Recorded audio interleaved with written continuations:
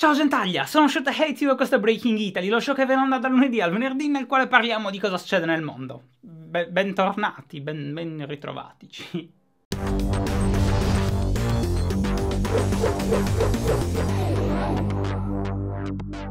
Sono riuscito dopo un paio di giorni a riavere la linea internet. I lavori dai vicini non sono terminati apparentemente, però sono molto meno invasivi, almeno per oggi. Sento un lontano ronzio, non so se lo sentirete anche voi nel microfono, ma pazienza. Gireremo Breaking Italy così, ve lo meritate, soprattutto quelli di voi che sono venuti a raduno domenica. È stato bellissimo conoscervi e vi dedico un vlog che ho caricato sul mio secondo canale e che trovate come al solito in descrizione o alla fine di questo video. Però iniziamo a parlare delle cose. E la prima cosa della quale volevo parlarvi oggi è una notizia che potrebbe interessare interessare tutti noi, specie per il fatto di essere italiani. E dico questo perché anche una cosa che ormai diventa quasi obsoleta come la fibra ottica, in più o meno tutta Italia è ancora un sogno. Oddio, anche la DSL in alcune zone d'Italia è un sogno, quindi questa notizia potrebbe interessarci. Samsung infatti sta lavorando, avrebbe presentato degli studi in merito a una nuova tecnologia che potrebbe finalmente metterla fuori dalla guerra di brevetti che sta facendo con Apple da tanto tempo. Infatti quello che ha presentato non è un nuovo telefono, telefono, un nuovo tablet, un nuovo schermo per tablet, ma è una tecnologia che è stata definita 5G, anche se 5G non è il nome della tecnologia corretta, ma serve a farvi capire di cosa parliamo. E infatti sono sicuro avete già capito, un nuovo sistema di trasmissioni dati cellulare che sarebbe così veloce da surclassare le nuovissime e moltissimo chiacchierate linee a fibra ottica di Google, le Google Fibers. Bene, questa tecnologia sarà ancora più veloce e potenzialmente non bisogna, ed è per questo che dicevo wow quanto piaceranno italiani questa cosa a spaccare le strade per installarla. Semplicemente bisognerà mettere dei nuovi ripetitori, cosa che apparentemente è comunque un problema, visto che in Italia anche la nuovissima rete 4G è arrivata soltanto in alcune città, Milano, Roma, Napoli. Però non dobbiamo preoccuparci perché c'è tempo. Questa tecnologia apparentemente sarà infatti ultimata nel 2020. L'Unione Europea, della quale facciamo parte, ha deciso di puntare su questa tecnologia, cosa importantissima, annunciando un piano di investimenti gigante da 50 milioni di euro. E io sono contentissimo per questa cosa, questa è finalmente lungimiranza, è spendere dei soldi in qualcosa di brutalmente importante, specie per la diffusione di internet, che può servire a tutti. E no, non solo per scaricare film illegalmente, anche se questa roba in fase di test nel raggio di 2 km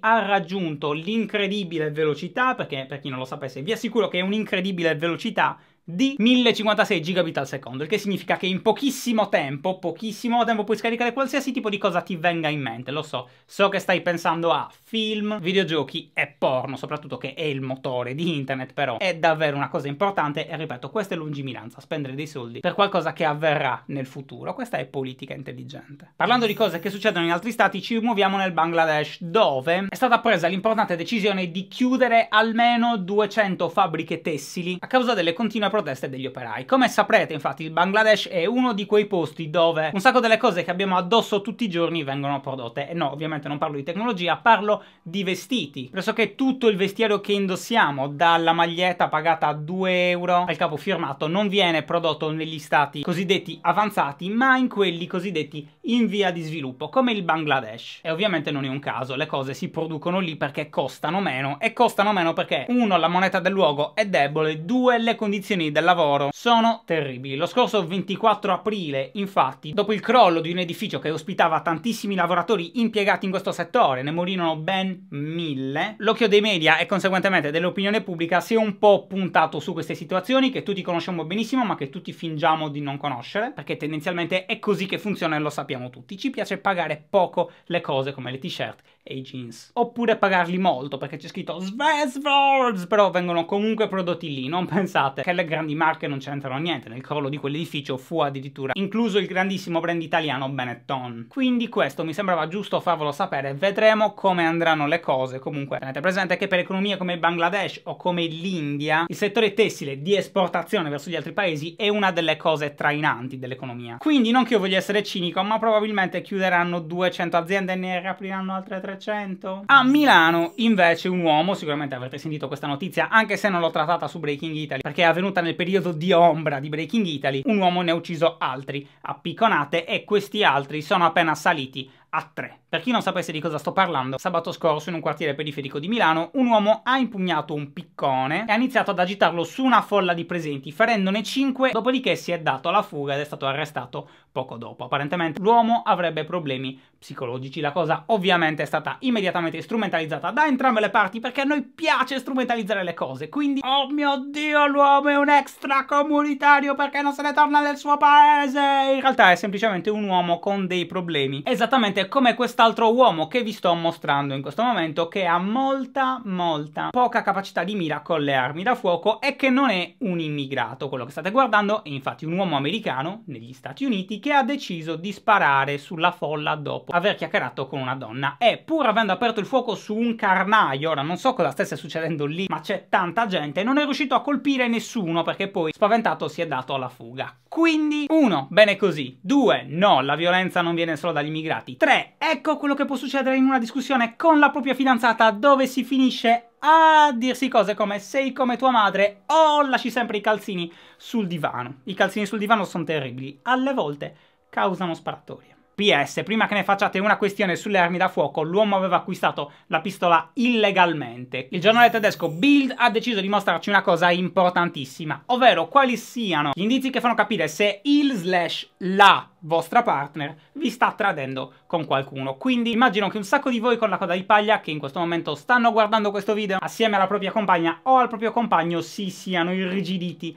lievemente. Quindi ecco la lista, vediamo se qualcuno di voi è colpevole. Guardate il vostro partner con la coda dell'occhio mentre scorro le immagini. 1. Il partner è improvvisamente incuriosito dalla sperimentazione di nuove cose a livello sessuale che prima non conosceva e che adesso conosce e che non è chiaro dove possa aver preso. Questo vale in un mondo nel quale non esiste la pornografia, quindi lo scartiamo. 2. Il vostro partner cambia radicalmente il look, il che può avere senso, ad esempio se il vostro partner prima girava così e poi decide di girare così, potreste avere dei sospetti o inventarveli e rendere la sua vita un inferno, che comunque è sempre importante. 3. Il vostro partner esce molto di più e prima non lo faceva mai, soprattutto se 4 esce con degli amici nuovi che però decide di non presentarvi. E 5. Questi amici gli scrivono alle 4 di notte e lui vi dice no ma è il mio cugino che sta male, quindi mi scrive alle 4 di notte. E soprattutto le due cose più importanti, che in realtà probabilmente sono davvero quelle che un minimo, almeno secondo me, potrebbero accendervi la lucina del dubbio che sta lì vicino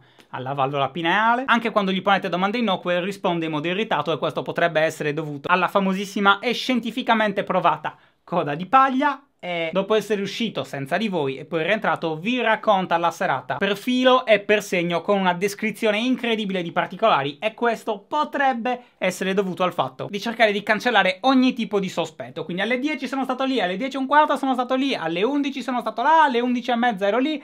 Quindi non ti ho tradito cara slash caro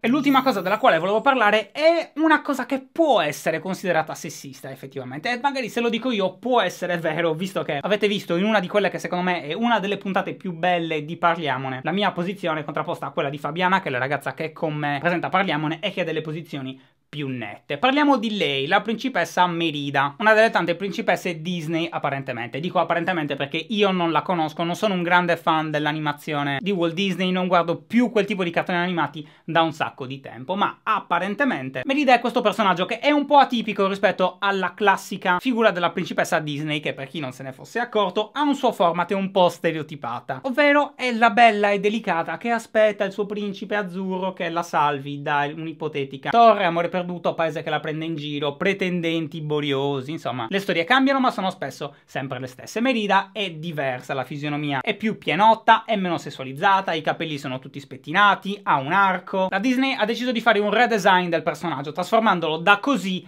a così. E questa cosa, ve lo dico mentre guardate la foto così potete vedere le differenze, ha fatto arrabbiare un po' di persone, perché il modello di donna forte e indipendente rappresentato da quel personaggio è stato completamente stravolto con il nuovo redesign e non sono una o due persone a dirlo o questa donna, che per chi non lo sapesse è Brenda Chapman, uno dei creatori del personaggio, ma più di 135.000 persone che in questo momento hanno firmato una petizione su change.org per dire no a questo redesign del personaggio. E io volevo chiedere a voi, Gentaglia, cosa ne pensate? Credete che in questo redesign ci sia del sessismo? Pensate che non ci sia del sessismo, ma non sia giusto ingentilire questo personaggio, soprattutto è ingentilire il personaggio, o è sessualizzarlo o comunque privarlo del suo fascino. Io personalmente non ho visto il film, quindi per me è difficile pronunciarmi, non voglio parlare di cose che non conosco. Ed è tutto quello che avevo da dirvi per oggi. Grazie per aver guardato, se il video vi è piaciuto metteteci un bel mi piace, ditelo ai vostri amici, ditelo alla mamma, ditelo al cane, ci vediamo domani alle 18. Dun dun dun